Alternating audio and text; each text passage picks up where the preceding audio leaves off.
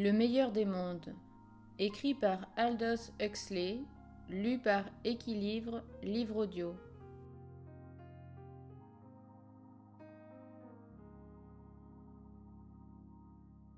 Chapitre 7 Suite à cette petite maison à la lisière du pueblo, qu'elle était sale. Un espace couvert de poussière et d'immondices la séparait du village. Deux chiens affamés fouillaient du museau d'une façon obscène les détritus répandus devant la porte. À l'intérieur, lorsqu'ils y pénétrèrent, la pénombre était puante et sonore du vol des mouches. Linda appela le jeune homme. Du fond de l'autre pièce, une voix féminine assez enrouée dit J'arrive. Ils attendirent. Par terre, dans des bols, il y avait les restes d'un repas, de plusieurs repas peut-être. La porte s'ouvrit, une squaw blonde et très forte franchit le seuil et resta là à contempler les étrangers d'un regard ébahi, incrédule, bouche bée.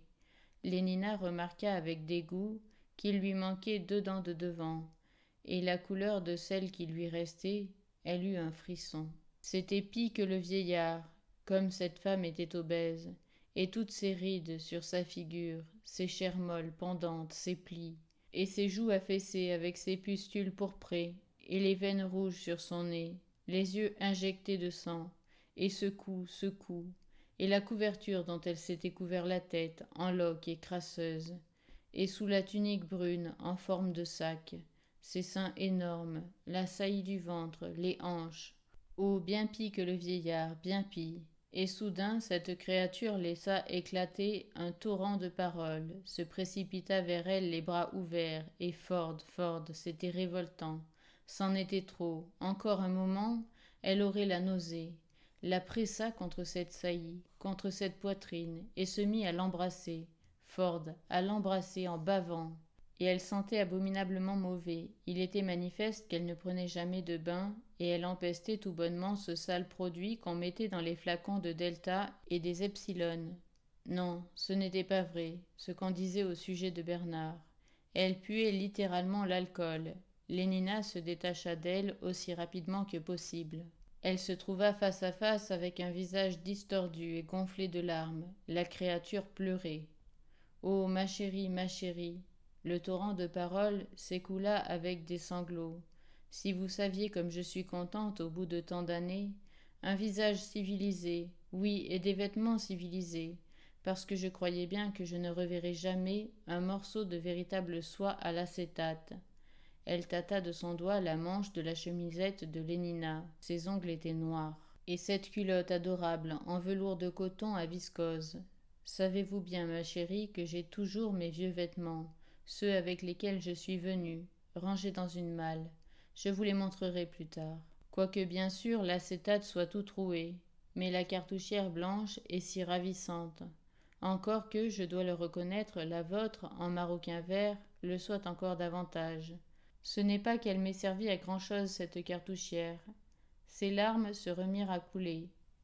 John a dû vous raconter ça ce qu'il m'a fallu souffrir, et pas moyen de se procurer un gramme de soma, rien qu'une gorgée de mescal, de temps à autre, quand Popé me l'apportait. Popé, c'est un garçon que j'ai connu jadis, mais cela vous rend si malade après coup, le mescal et le payolte vous donnent mal au cœur, et puis cela rendait encore bien plus pénible le lendemain cette sensation affreuse de honte, et j'étais tellement honteuse effectivement. Songez donc, moi, une bêta, avoir un bébé. Mettez-vous à ma place. Rien qu'à cette idée, Lénina frémit.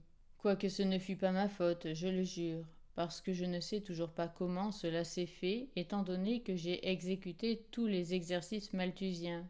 Vous savez bien en comptant. Un, deux, trois, quatre. Toujours, je le jure. N'empêche que malgré tout c'est arrivé et naturellement il n'y avait ici rien qui ressemblait à un centre d'avortement.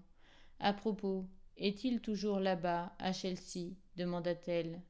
Lénina fit un signe de tête affirmatif. Et toujours éclairé par projecteur le mardi et le vendredi. Lénina fit de nouveau oui de la tête. Cette tour ravissante en vert rose. La pauvre Linda leva le visage et les yeux clos contempla en extase l'image brillante du souvenir. Et la tamise la nuit, murmura-t-elle. De grosses larmes filtrèrent lentement entre ses paupières serrées. Et le retour en avion, le soir, de Stockpodge. Et puis un bain chaud et un vibromassage par le vide. Mais voilà. Elle fit une inspiration profonde, hocha la tête, rouvrit les yeux, renifla une fois ou deux, puis se moucha dans ses doigts qu'elle essuya sur le pan de sa tunique. Oh, je regrette, dit-elle en réponse à l'involontaire grimace de dégoût que fit Lénina. Je n'aurais pas dû faire cela, je regrette. Mais que faire aussi quand il n'y a pas de mouchoir? Comme cela m'a tourmenté jadis, je m'en souviens, toute cette saleté, et le fait que rien ne soit aseptique. J'avais une entaille affreuse à la tête quand on m'a amené ici tout au début. Vous ne pouvez pas vous imaginer ce qu'on me mettait sur la plaie. De la crasse, tout simplement de la crasse. La civilisation, c'est la stérilisation, leur disais-je. Et sur mon streptocoque ailé, volé à bamborité, voir ma salle de bain nickelée, avec un WC, comme si c'était de petits enfants. Mais ils ne comprenaient pas, bien entendu. Comment l'auraient-ils pu Et en fin de compte, je me suis habitué, je suppose. Et au surplus, comment pourrait-on tenir tout propre quand il n'y a pas d'installation d'eau chaude? Et regardez-moi ces vêtements, cette sale laine. Ce n'est pas comme de l'acétate. Ça dure, ça dure, et l'on est censé la raccommoder si elle se déchire. Mais moi je suis une bêta. Je travaillais dans la salle de fécondation. Personne ne m'a jamais appris à faire quoi que ce soit de ce genre-là. Ce n'était pas mon affaire. D'ailleurs, ce n'a jamais été bien de raccommoder des vêtements. Jetez-les quand ils ont des trous, et achetez-en de neufs. Plus on reprise, moins on se grise. C'est bien ça, n'est-ce pas? Raccommoder, c'est antisocial, mais ici tout est différent, comme si l'on vivait comme des fous. Tout ce qu'ils font est fou.